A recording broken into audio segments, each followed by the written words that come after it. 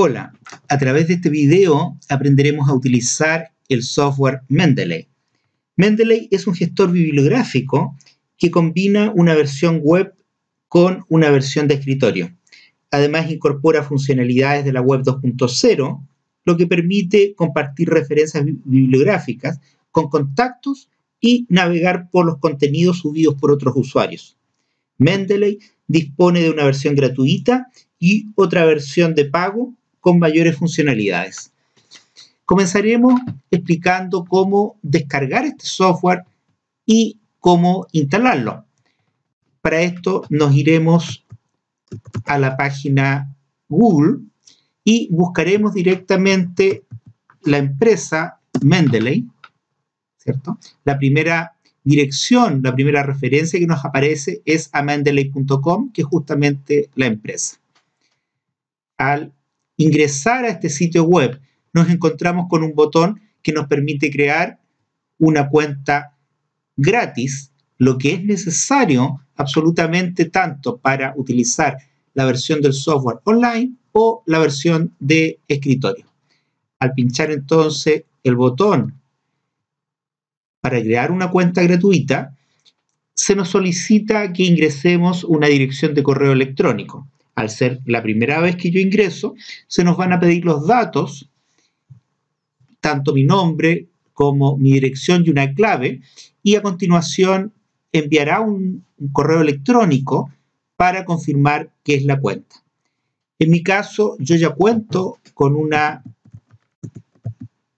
eh, dirección, con una cuenta en esta plataforma y por lo tanto al ingresar ¿cierto? Me solicita la clave, yo ya la tengo grabada y cuando ingreso, entonces eh, ingreso directamente a la plataforma online. Acá yo ya tengo acceso a todas mis referencias, pero en este caso nosotros vamos a ver cómo se descarga el software.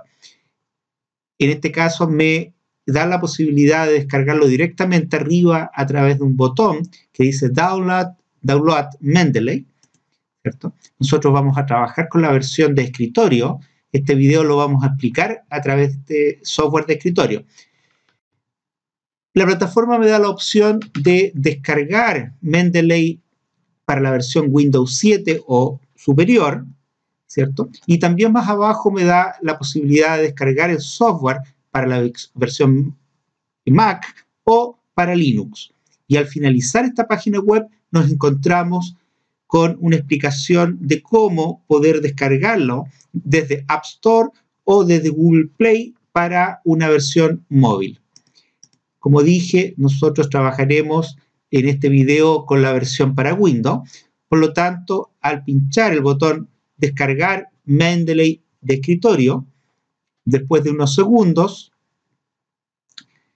se me da la posibilidad entonces de guardar el software en mi escritorio, en mi computador. Le digo guardar archivo. Yo ya lo había guardado, lo voy a volver a guardar para poder ver cómo funciona.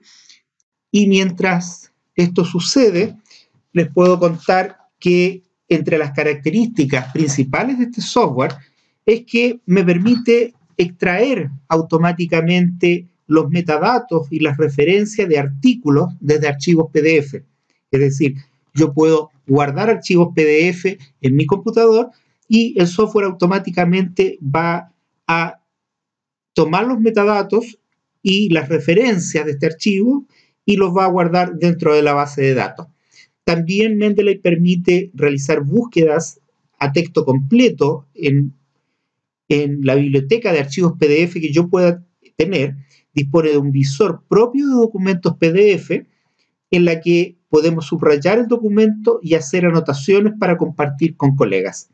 Permite también sincronizar la base de datos bibliográfica a través de varios ordenadores y así compartir con colegas, administrar online o integrar las referencias en blog y sitios web. Permite también la integración con editores de textos como el Word o como el Open Office Writer. Permite Mendeley capturar referencias bibliográficas desde sitios web usando una herramienta que es Web Importer, ¿cierto? Que es necesario instalarla en diferentes navegadores para posteriormente, a medida que yo voy navegando, tomar directamente las referencias bibliográficas y guardarle la base de datos.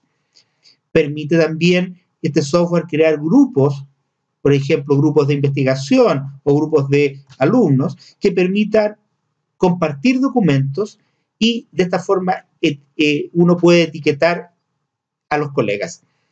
Te permite ver estadísticas de los documentos, autores y publicaciones, además de las estadísticas sobre la biblioteca de nuestra cuenta.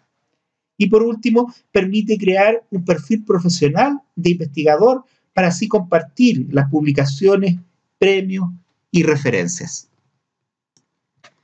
Una vez que ha terminado entonces de eh, descargar completamente el software, yo puedo ingresar a la carpeta donde lo descargué y, e instalarlo, ¿cierto? Me pide permiso para realizar cambios en el dispositivo, sí, se los doy, y empieza entonces el proceso de instalación, ¿cierto?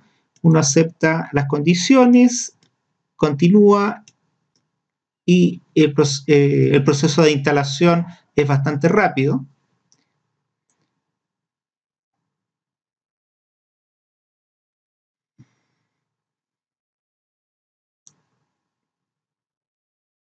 ahí está, terminó, y me solicita si lo quiero ejecutar luego de haber terminado la instalación, sí, lo voy a ejecutar.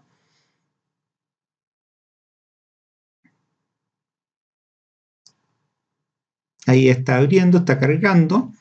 En este caso yo ya tenía instalado este software, por lo tanto me, reconoce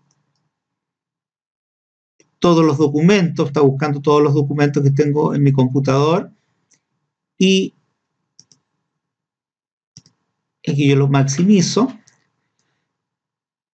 y vamos a entonces de esta manera conocer cuáles son eh, las principales opciones que tiene, las principales funcionalidades que tiene este software de escritorio. Primero, en la, pantalla, en la versión local de escritorio, eh, encontramos la siguiente estructura. Primero, al lado izquierdo, ¿cierto? Contamos con una opción que es My Library, ¿cierto? Que me permite ver todos los documentos con los que cuento yo en este computador. Desde aquí podemos configurar y administrar las distintas colecciones de documentos con las que contamos desde esta sección podemos también aplicar filtros por autor, abajo, ¿cierto? Encontramos filtros por autor, filtros por palabras, por tags y por publicaciones.